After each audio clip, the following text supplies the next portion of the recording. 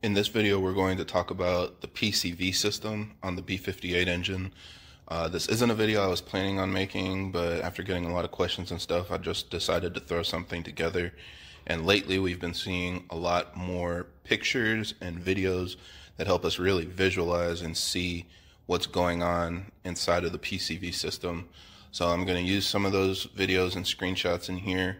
Uh, shout out to Omar at Vader Solutions and Merrick at M&P Performance for, you know, really showing us what's inside of the valve cover and doing a little dissection work so we can see what's actually inside of there.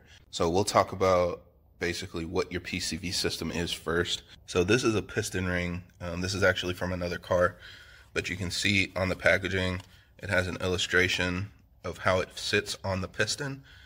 And basically what you want to consider is the engine has a lot of heat built up as it heats up, all of the metals expand. So you're going to actually see a gap between the piston wall and the cylinder wall all the way around the perimeter of the piston. And that's because you want there to be some room so the piston can expand as it heats up without it actually contacting the cylinder wall.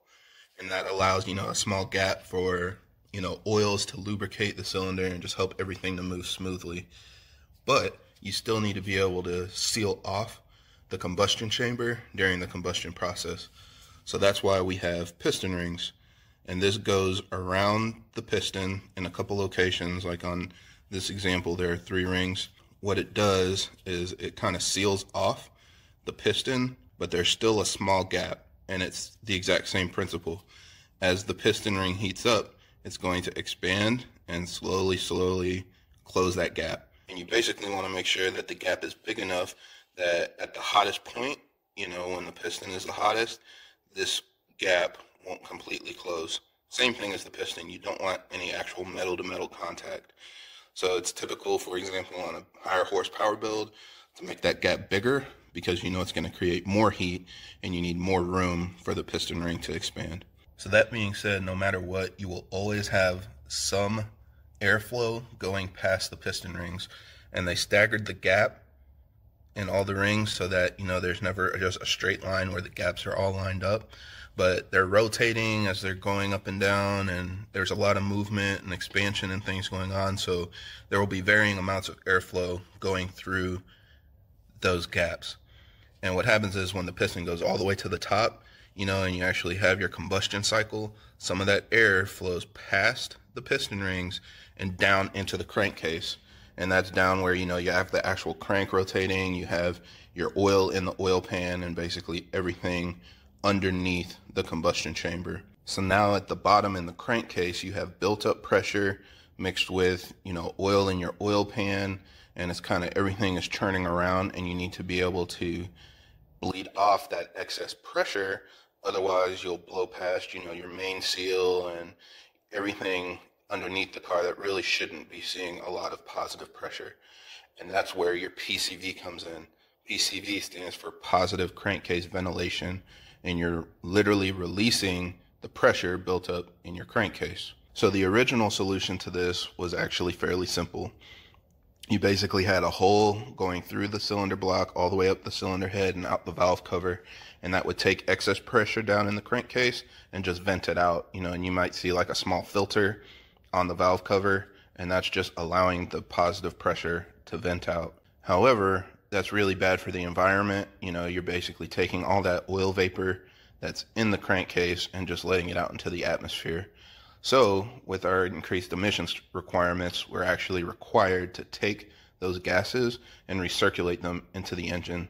So now you'll see, you know, a hose going straight from the valve cover to the intake manifold and it takes those vapors right back into the combustion chamber and burns them off. This is also beneficial because inside of your intake system, you're creating a vacuum. That's the actual suction that you have for airflow coming into the engine. And so now instead of just letting the positive pressure come out into the ambient pressure, you actually have a vacuum pulling that pressure out that makes it more efficient. So even though it's not ideal to actually burn off oil vapor, having the vacuum pull your crankcase gases out is more efficient and safer and better for the car. Now that we have turbo engines, it's even more complex because you can imagine in that same scenario, you have a hose going straight from the head to your intake manifold, but there are certain times where that manifold seeing 10, 15, 20 psi, you no longer have that vacuum pulling crankcase gases out of the engine and into the manifold. You actually have positive pressure that can push the gases the opposite way. So you no longer can just rely on that vent to passively pull gases out. And that's where we have our modern PCV systems that actually have to route gases depending on the scenario. So BMW's solution to this is a little bit unique. Uh, we have a valve cover with the PCV actually built into it. This cylinder that you see, you know, kind of behind the oil cap is where the PCV is. And if you take this off, there's an actual diaphragm in here. And that's what directs where your crankcase gases go. Under most scenarios where you're just kind of cruising and you're not in boost, it redirects all of the gases directly down to go back into the combustion chamber and just get burnt off. However, in all the other scenarios where you're accelerating and creating boost, it redirects all of your crankcase gases out this vent. And so it goes down into the intake and into the turbo and then through your charge pipe into the intake manifold and back into the cylinder head. And like I said, it has to do that because in certain scenarios, everything after the turbo sees pressure. So the only way to avoid that is to route it to the intake before the turbo where you only see vacuum. So that way you're only venting out gases and you're only seeing a pull on the gases out of the engine. So obviously there are a lot of drawbacks with this. Um, primarily, the gases that come out of the crankcase, like I said, it's typically an oil vapor or an oil mist, and that oil will basically come out of your PCV and coat your turbo, coat all your boost piping. It'll coat your um, intake manifold and your intercooler, make it less efficient. So if you have excessive blow by that has a lot of oil in it, that's not ideal. So the PCV system can have a couple different issues, and they're primarily brought on by tuning and creating a lot more horsepower than stock. Like the diaphragm, for example, moves as you go through different scenarios where you're creating boost and going in vacuum. And when you tune the car, you know, you're creating more boost pressure, creating more horsepower, and that puts more stress on the diaphragm. It also creates more stress on the actual crankcase because the increased cylinder pressures will actually push more air past the cylinder rings, create more oil vapor, and kind of churn up everything in the crankcase more. And so you'll actually have more blow by. And blow by is just kind of, again, that oil vapor that's coming out of the crankcase. So all of these are created typically, it just kind of comes on from creating more horsepower and is unavoidable. What we can do is try to improve how the car handles it. So for example, down here we have our vent hose that goes to the intake. A common improvement here is to add a catch can. There is kind of a rudimentary filter inside the valve cover itself where it takes the oil vapor that's coming out and there are some small holes that try to separate the air from the oil. And so the idea is only air will actually come out into the intake and the oil will be stopped by the filter and then go down some drains that are in the cylinder head and just kind of drain the oil back down to the oil pan. However, it's not perfect, and like I said, with more boost and more power, you're creating a lot more blow by and it kind of overwhelms the system. So you can add a catch can between this hose, and that'll actually add additional filtration so that oil vapor isn't going into your turbo, it isn't coating your actual charge pipe, your intake manifold, your intercooler you know, it kind of just prevents that from happening. For most people I've seen, there is not excessive blow by. Some of the 2016 early B58s have more blow by than the later models, but I don't even have much oil in my boost pipes or anything pushing, you know, 480 wheel horsepower. So in general, the catch can isn't really needed, but it is something for peace of mind. If you're increasing your horsepower, it'll prevent that blow by from getting into your engine. Another failure mode or something that people might want to improve is the actual PCV diaphragm itself. Again, as you increase your horsepower, you're putting more stress on that diaphragm and it can crack. And what that does is affect how it works, and it'll basically begin redirecting a lot of your gases into the combustion chamber when it's not supposed to. And that's where you see people having smoke coming out of the exhaust because it's venting excess oil into your intake manifold. And it can also even create timing issues. It can create symptoms of like a vacuum leak because air is coming past that diaphragm when it's not supposed to. So the solution for that that I've seen from Vader Solutions is to basically again just add a vent there so that you're always venting it to a catch can or always venting out that air and that will eliminate your dependency on the actual diaphragm staying intact and running and operating properly.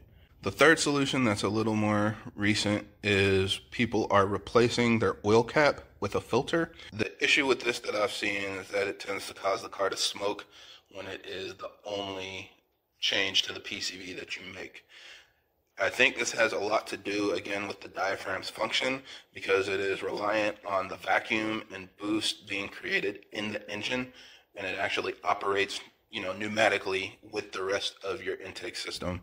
So when you're modifying how that is pressurized and basically creating a point where it's always venting out the atmosphere, it can create a scenario where oil is just being redirected to your combustion chamber when it's not meant to, and that's what creates the smoke that's coming out of your exhaust. You're basically just burning off those PCV gases. I wouldn't recommend that alone. I think the only way to do it is the full Vader Solutions kit that actually replaces the cap on the diaphragm as well but I think for majority of people, it's not really needed. The main improvement that I would recommend to most people, you add a catch can, and that just future proofs it for no matter how much power you have, no matter how much wear you get on your engine, you know, over 50, 100,000 miles in the future, everything is going to wear down. You're going to get more blow by, and that catch can will basically just filter out the excess oil and keep the rest of your engine clean.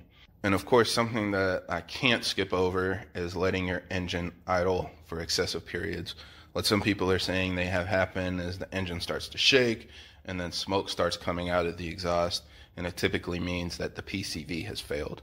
No matter how long you're letting your car idle, if it's 30 minutes, an hour, whatever, your car should be able to handle that. Let's get that out of the way. So saying that you shouldn't do that or there's no excuse for letting your car idle isn't an excuse for the PCV failing from letting your car sit idling. I mean, if you're waiting on a tow truck and it's 30 degrees outside and you need to let your car idle, that shouldn't be a problem. You know, if you're at a drive-in watching a 2-hour movie, that shouldn't be a problem. So, let's just skip that whole argument. That's that's not an argument there. What I will say is the vacuum that's pulling out your crankcase gases increases as you actually put a load on the engine.